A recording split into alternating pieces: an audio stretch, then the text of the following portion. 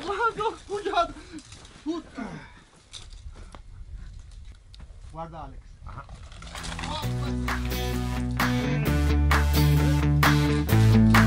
Hey everyone, my name's Alex. I'm an ex medical student who sold all his belongings in 2012 to travel around the world. 50 countries, and the adventure continues.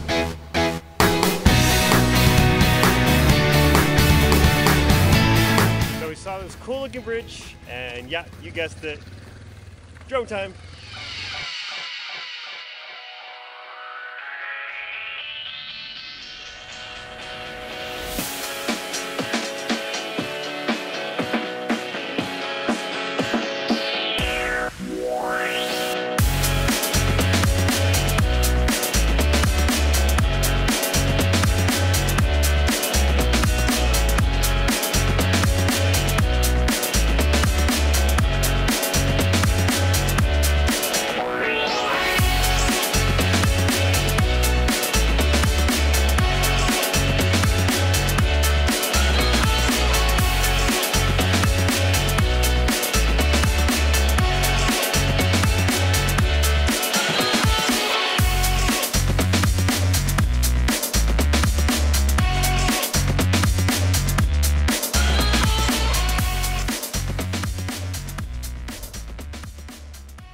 Guys who crashed a drone. That's right, I did. Oh man, it's another day in paradise. And today we have this. If you can see it, it's actually stuck right there. Look at that. So I was flying it over the bridge over there and GPS signal, there's nothing here, so it wasn't very good. So I crashed over there. All right, how we're gonna get it, it's gonna be interesting. The easy part's crashing it. The hard part's getting it back. Oh man. What to do, what to do with me, man. I always pick the hardest part to drone while driving a motorcycle. So when you drone and fly a motorcycle at the same time, this is what happens.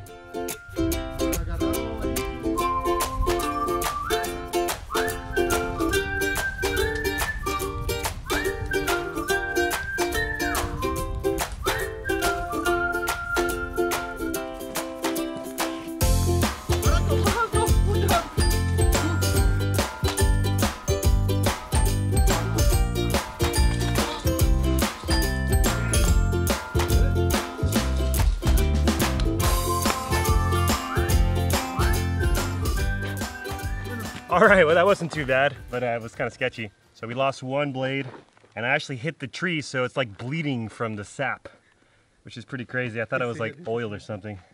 I'm gonna try to figure out what the damage is, but ah, man, I hate these moments because you realize, you know, it's really expensive to replace and fix. Do it all for the shot, all for you guys, you know. So, all right, let's see what the damage is.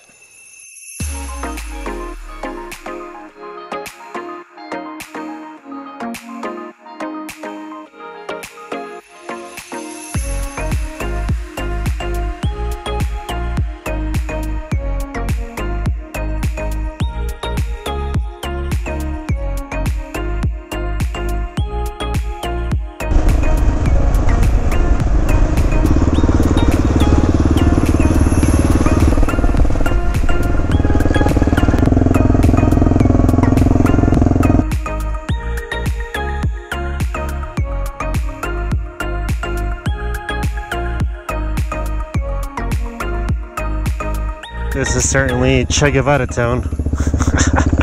what a weird and funky little place. Today we've driven for like five, six hours and we've only gone barely a hundred kilometers. Oh my gosh, it's like a monument to this guy here. Oh, here it is, Che Guevara. You might remember him from all the t-shirts that you see people wear when they want like change or, or uh, you know, when there's something political happening, people love to wear his face and it's a very uh, misunderstood representation of what he actually did. So, if you really want to find out what he did and how he did it, and how he became famous or infamous, uh, be sure to Google it, check it out. Make sure to research it because when you wear that shirt, uh, the meaning behind it's really kind of altered and changed throughout the years. And the, this town is so weird, though. Check it out. It's like some music going on. It's a little centerpiece here. It just uh, don't know what, quite, what, quite what to think about it.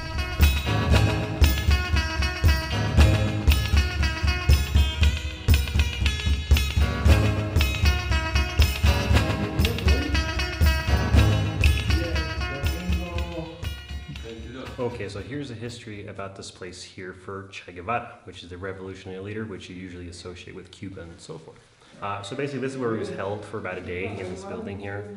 Uh, but basically, he was trying to establish a guerrilla camp around this area, so he just kind of went back and forth. He had a few people come by. Uh, the kind of point where the army, the Bolivian army, actually found him, where they eventually killed him. Cadre came by, they grabbed his body, and they took it out. He was conspiring with the Communist Party here in Bolivia. Uh, there's a lot of history and a lot of things to read up on, so make sure you do that. Other than that, very interesting.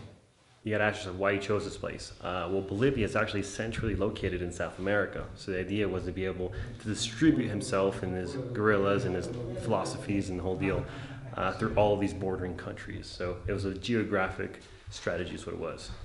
Estaba de seis años, Ajá. pero los vi ellos cuando, cuando venían de allá del sur, venían este, con sus mochilas grandes, venían así este, de, de dos en dos, así de distancia de 10, de 15 metros venían. All right, so after a crazy day of like six hours of driving, only making 100 kilometers, we are now at this really crazy and amazing hostel. It's really, really nice. It's really cute. It's really quaint. And there's an awesome sunset, as you can see behind me. And what's even more interesting about these places is that there's a French couple that owns this place. There's a French person that owns a place next to it. And there's like a other foreigner that owns it over there. So I had no idea this was like the French connection going on over here. She's lived here for like 14 years. Her friend is from Belgium who's now living here for six years. So it's really crazy how this place just kind of like grabs you and keeps you here. Got to be careful because Leandro uh, is actually very motivated by this place. So he may stick behind. You got awesome parking for the motorcycles you see behind me. Pretty great. That's the street. This is the young. Oh, ¿y cómo te llamas otra vez? Inti. Inti. This is Inti. He is the son of the of the couple that actually owns this. So he speaks Spanish and French. And for 35 Bolivians, it is not a bad deal. Here we have the room. All this stuff goes on very nicely here to the left. And we got dorms. So not bad. ¿Y, cua- y cuántos niños hay en tu clase? Diez. Wow. Pequeña clase.